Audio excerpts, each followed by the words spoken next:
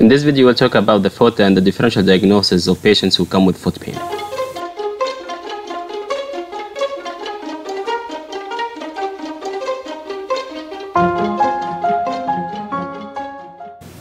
So here we have the foot and here in the back we have the Achilles tendon and here we have connection between the calcaneus and the digital bones with tendons and fibrous tissue. So if the patient comes with posterior foot pain, you have to think about Achilles tendonitis. It's a gradual onset disease and it's very common in runners. Now, secondary causes can also be present and most commonly or the ones that we are always looking for medications like fluoroquinolones and reactive arthritis. Now in examination they will have redness and tenderness and make sure to know that Achilles tendonitis is a clinical diagnosis disease you don't need to do any imaging or any labs test. Now for treatment it's conservative basically and physical therapy. RICE which means rest, ice, compression, and elevation. What you need to know for real and for the exam is the steroids because many times steroids work for inflammation or tendinitis. In Achilles tendinitis, don't use steroids.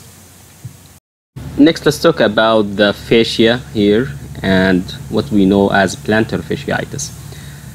Now it's very common, so you need to know this for practical reasons as well as for the exams.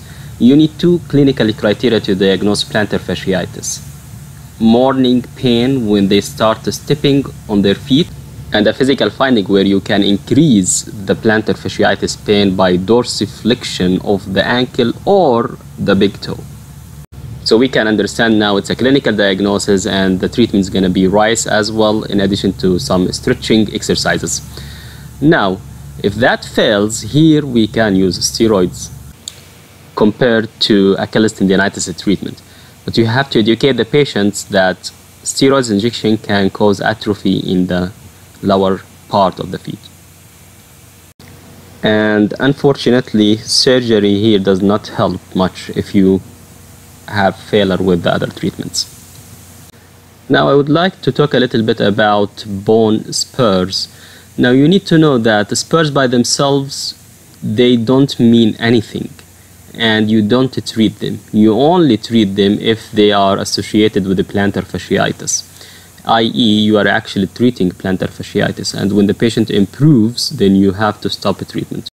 The reason is around 10% of the population they have these spurs and only 5% will have the symptoms.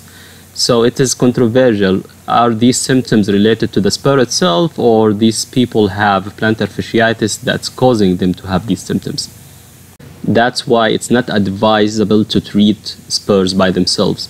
And this is very important from practical standpoint as well because there are a lot of misconception about these spurs.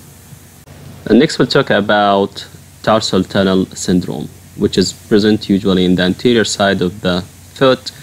And these patients will present like carpal tunnel syndrome with paresthesia mainly and pain. Weakness is uncommon in these patients as well. And this concludes this video. Hope you guys learned something and see you in the next one.